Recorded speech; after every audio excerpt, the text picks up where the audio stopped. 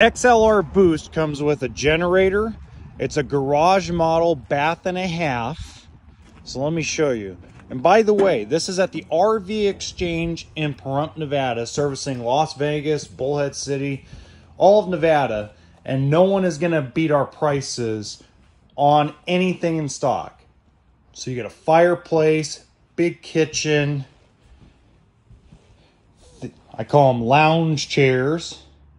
And then it has a good sized garage. Looks like this garage will fit a Can-Am X3 and you have your bed, you have your dinette that folds into a bed, your patio kit, and then you got your half bath.